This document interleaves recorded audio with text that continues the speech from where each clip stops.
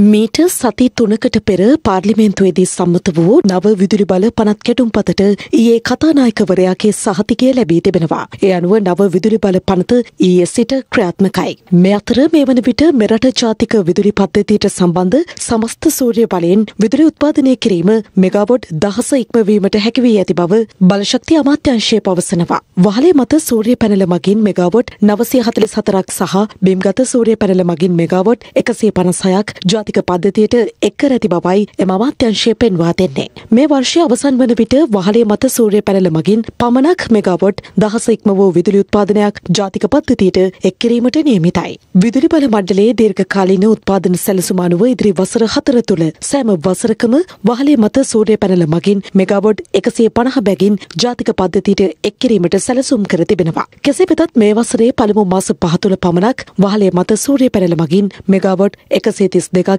ජාතික පද්ධතියට එක්කිරීමට හැකිවී ඇති බවයි බලශක්ති අමාත්‍යංශය වැඩදුරටත් පවසන්නේ.